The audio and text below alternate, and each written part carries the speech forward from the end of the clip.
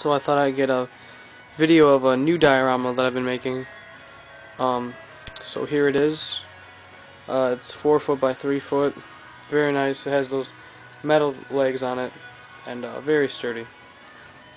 It's really lightweight. What I did is I styrofoamed the whole base uh, and then I left about a little lip as you can see all the way around and it looks very nice.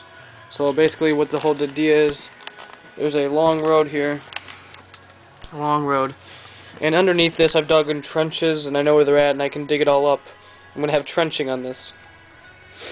Um, then as you can just see over here there's a house water tower another house. Here's a picture of the house. There's like a somewhat of a silt fence. Then I just have construction fence but there's a little house there. 150 or 148 scale.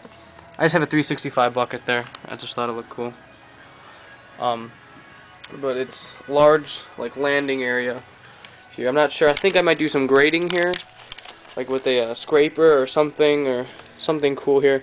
And I'll probably have a yard over on this end for the trenching. Here's just a retaining wall uh, limestone. They have some leftover rocks there. It's kind of a built up plateau part. Not sure. And then here this area is stoned in. There's another house here and there's a uh, like I said the water tower.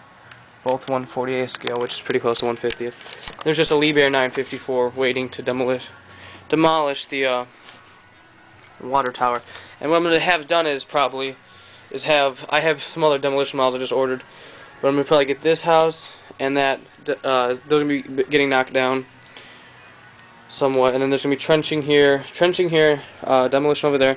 And I thought I'd like to have grading here. That'd be pretty cool I think so that's that. And then I just have just to show you real quick just a uh, 330 uh, forestry excavator with the grapple.